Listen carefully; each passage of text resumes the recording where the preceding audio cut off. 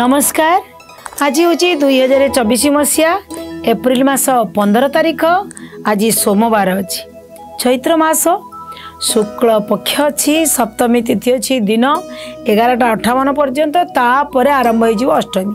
ଆଜି ମିଥୁନ ରାଶିର ଘାତବାର ଅଛି ଯଦି ଆଜି କାହାର ମୃତାହତ ହେଇଯାଉଛି ଦୁଇ ପାଦ ପୁଷ୍କର ଲାଗିବ ଦିନ ଏଗାରଟା ଅଠାବନ ଠାରୁ ରାତି ତିନିଟା ଅଠତିରିଶ ଭିତରେ ଏଇ ମଝିଆ ମଝି ଯଦି କାହାର ମୃତାହତ ହେଉଛି ଗୋଟିଏ ପାଦ ଲାଗିବ ଫଳରେ ତାର ଅସୁବିଧା କ'ଣ ହେବ ନା ଗୋତ୍ର ନାଶ ହେବ ଯଦି ଆପଣ ଗାଈ ଗୋରୁ ରଖିଛନ୍ତି ଛେଳି ରଖିଛନ୍ତି ଆପେ ଆପେ ସେମାନେ ମରିଯିବେ ପଶୁ ହାନି ହେଇଯିବ। ସନ୍ତାନ ହାନି ଯୋଗ ମଧ୍ୟ ଅଛି। ପୁଷ୍କର ଠିକ୍ ସେ ଶାନ୍ତି ନହେଲେ ଆକ୍ସିଡେଣ୍ଟ ବଗେରା ଦୁନିଆ କଥା ହେଇପାରେ। ପୁଷ୍କର ଶାନ୍ତି କରିବେ ଅନ୍ନ ଦାନ କରିବେ ତିଳ କାଞ୍ଚନ ଦାନ କରିବେ।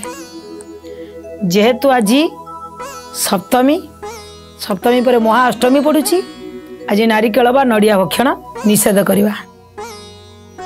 ଆଜି ହେଉଛି ମହା ଅଷ୍ଟମୀ ବାସନ୍ତୀ ଦେବୀଙ୍କର ବାସନ୍ତୀ ଦୁର୍ଗାଙ୍କର ମହା ଅଷ୍ଟମୀ ପୂଜା ଲିଙ୍ଗରାଜ ମହାପ୍ରଭୁଙ୍କର ଆଜି ରଥ ପ୍ରତିଷ୍ଠା।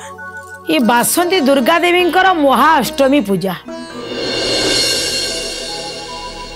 ये महाअष्टमी पूजा महागौरी की पूजा करा जाए ये गौरी माँ जड़े अविवाहित कन्या गौरी माँ को पूजन कर जड़े बहुत अखंड सौभाग्यवती हाँपी सी माँ गौरी की पूजन कर आज श्वेतांबर धरे देवी।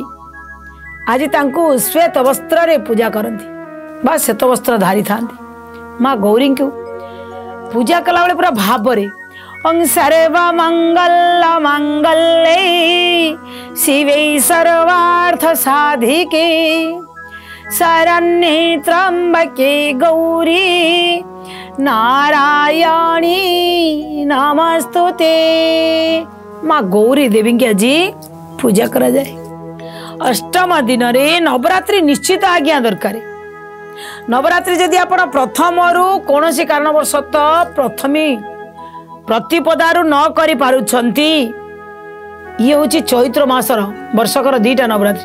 ଚୈତ୍ର ନବରାତ୍ରି ଗୋଟେ ହେଉଛି ଆଶ୍ୱିନ ନବରାତ୍ରି। ଏ ଦୁଇଟା ମହାନ ଆଉ ଗୋଟିଏ ଗୁପ୍ତ ନବରାତ୍ରି ଅଛି।